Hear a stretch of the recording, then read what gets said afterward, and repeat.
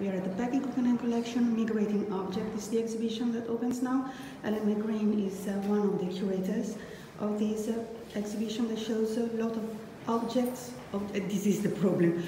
Are they objects? Are they sculptures? Are they works of art? Together with the influence that all these Jovovich had on the contemporary art or the modern art and the collection that Peggy Guggenheim had.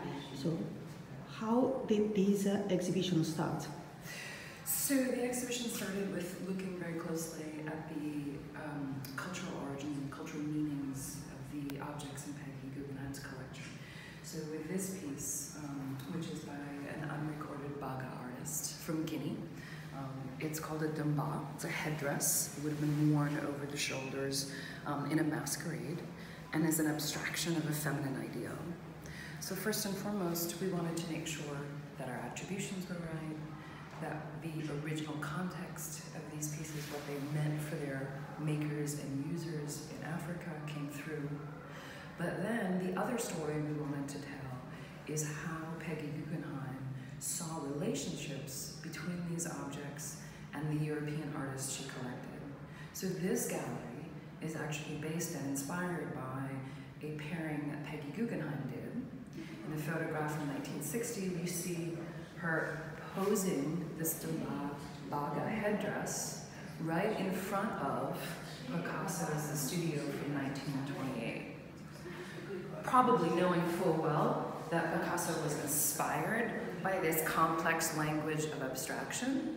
And in fact, we know that by 1928, Picasso owned a, a Baga uh, headdress just like this, which is now in the Musée uh, Picasso in Paris. So her taste and the connections that she was making between the arts of Europe and the arts of Africa was very much part of a much longer history of artists at the early, early part of the 20th century appropriating and borrowing ideas for their abstraction. So the exhibition is really an attempt to tell multiple stories. The stories about the original context of the objects, but then how once they migrated to Europe, how those meanings shifted and changed, and in many cases were thought of in entirely new and different ways. And one of the exhibition's point is about the objects.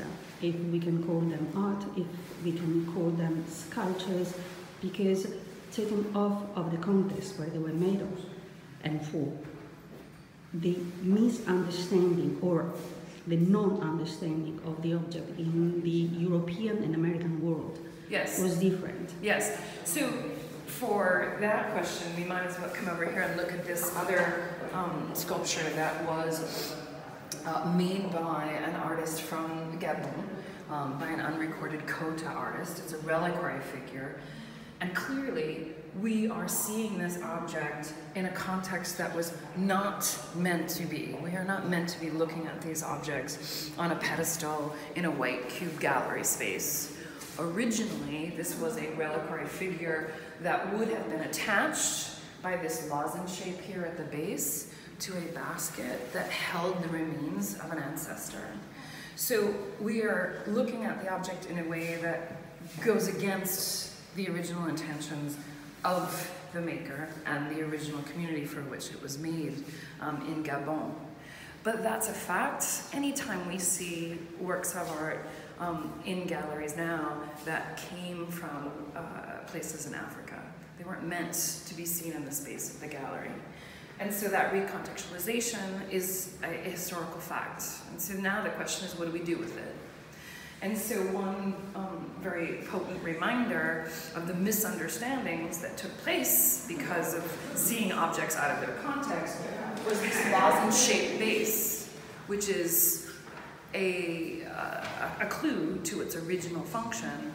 Um, many Europeans, Picasso included, read that as an abstraction of a figure of arms and legs. And so we see Picasso, for example, in a 1908 painting, soon after he probably acquired one of his Kota reliquaries, basing the figure of a dancer on this abstract anatomy and reading the, that lozenge as arm and limbs.